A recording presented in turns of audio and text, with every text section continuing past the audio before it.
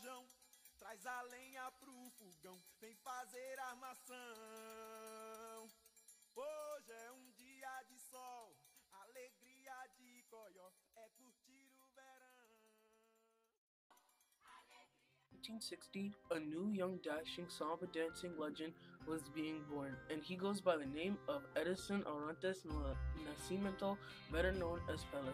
Pele played soccer at a time when Brazil was racially divided and the social pyramid was based much more on race. However, through his fame and soccer glory, he changed how Afro Brazilians were looked at within Brazil, as well as inspired hundreds of poor Brazilian children. The poor treatment of Afro-Brazilians goes all the way back to the slave trade. During the slave trade from the 1600s to the 1800s, approximately 5 million Africans were transported to Brazil as slaves, which are more than any other country in the world, including US and Europe. When you explore just a bit more and dig a bit deeper, you see exactly how differently Afro-Brazilians are treated and how different their lives are than others. Here are two very well-known people in Brazil. Even these two celebrities know about the racist issues that are happening there. Chica da Silva brought me into activism. I'm an activist, a fervent activist for the black movement. I traveled to 16 countries promoting the film, including the US. And when I got back, I began to think where is everybody? There were so few black actors in the media.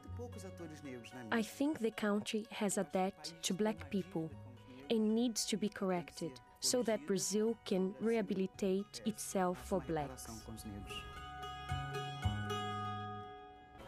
Is everybody here black? The majority.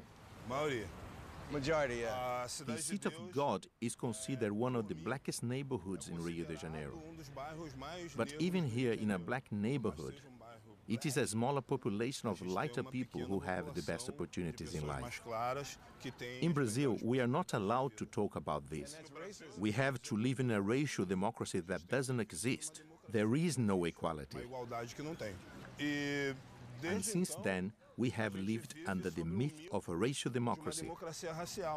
But this democracy is exposed as a lie when we look at the color of the people who live in favelas, the color of the people who are in prison, the color of most of the people who live from crime.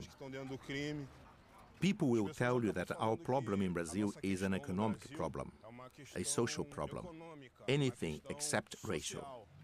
It can never be racial, but it is. Pele grew up in poverty and struggled in his early life and childhood. He barely ever had time or money to truly practice and master the sport of soccer. However, he still loved the sport and developed a talent for it. When he practiced, he didn't even have a soccer ball. Instead, he used a rolled up sock stuffed with rags and kicked it around in his childhood home city of At the age of only 15, Pele joined the soccer club known as Santos FC in 1956 and from there his career launched. He was introduced to the world in the 1958 World Cup which happened in Sweden. Displaying extraordinary speed, athleticism, and skill, he was able to lead Brazil to win in the finals over the host countries. People around the world soon became aware of Pele's huge soccer abilities. Soon afterwards, Pele became known as one of the best soccer players in the world. He became so good that a lot of people would do anything just to see him play. During the Nigerian Civil War in 1967, Pele and his soccer club Santos came to play against some local teams in Nigeria. However, the matches were not postponed due to the war. In fact, the two factions that were involved in the war agreed on a 48-hour ceasefire just so they could watch Pele play. In 1998, Pele resigned from professional football. However, he continued to help the world. By this time, Pele became a huge face throughout the whole world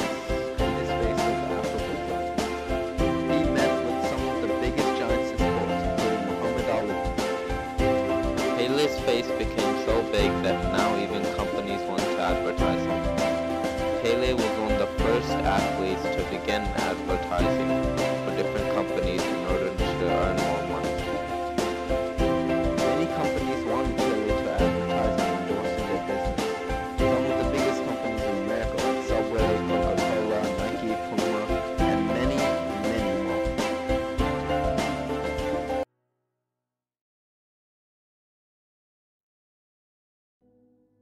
At the time, Brazil had a social pyramid that was based on mostly race. Blacks were usually the lower class and most of the time poor. However, after Pele's story was being told around the world, especially in Brazil, the poor children in Brazil living in poverty were truly inspired. He proved to them that the social pyramid doesn't have to be true. Poverty and lower class can be avoided through soccer and sports. He truly gave the Afro Brazilian children hope that they can escape poverty through hard work and dedication.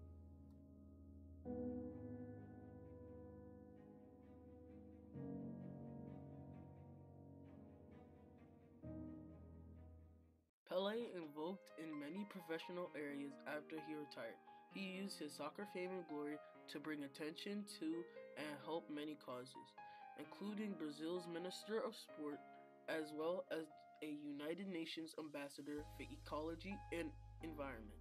Some of his more important careers were working in the United Nations International Children's Emergency Fund, working in the UNICEF to improve and help the needs of children in poverty in Brazil and around the world. Pele obviously still cares about the children of his home country of Brazil. He has recently been having many fundraising charity dinners called Goals for Life, which donated to the Pequeno Príncipe Hospital and the Research Institute in Brazil. Even today, Pele is acting as a FIFA ambassador against racism and said he does want to fight racism. Not, not only that, Pele wanted to help the children in Brazil learn to read.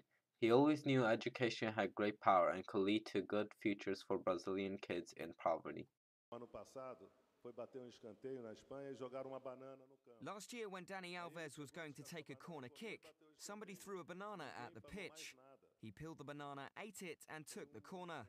Nobody talked about it again. It was an act of racism. I think if Danny had taken the banana and had thrown it back into the stands, we would still be talking about it today. I think that Aranha precipitated himself a little bit by wanting to fight the supporters. If I had to stop or shout every time since I started to play in Latin America, here in Brazil, in its interior, every time I was racially abused, every game would have to be stopped. cada vez que me chamassem de macaco, de crioulo, aí todo jogo tinha que parar, porque ali eu acho que a gente tem que coibir o, o racismo. I think we have to fight racism, but prohibition will not come in a public way. There was a time when Santos FC had Dorval, a black right winger. Pele was black, Mengalvio was black, Coutinho was black. Santos were world champions with only Pepe being white. When we had to play in the interior of Brazil, they called us every word possible. Did you ever hear about any news on racism at the time? It was because we didn't give publicity to this. I think that when we have more publicity on something like this, the more likely it is that it will happen again. In the video, Pele plainly states that we must fight racism, and as FIFA's ambassador against racism, he is doing that. But he also knows it's a complicated situation because he knows the more publicity that is given to it, the more likely it is that it will happen again. In conclusion, the year's topic of leadership and legacy relates to Pele because Pele was a leader of Brazil. He became a face as an Afro-Brazilian around the world and inspired the poor children of Brazil by showing them you can escape poverty and fight through racism. He settled many issues of racism in Brazil and is still fighting today for equality as a FIFA ambassador against racism. A lenha pro fogão, vem fazer armação. Hoje é um dia de sol, alegria e coió, é curtir o verão. Vem, Magalhães, rojão, traz a lenha pro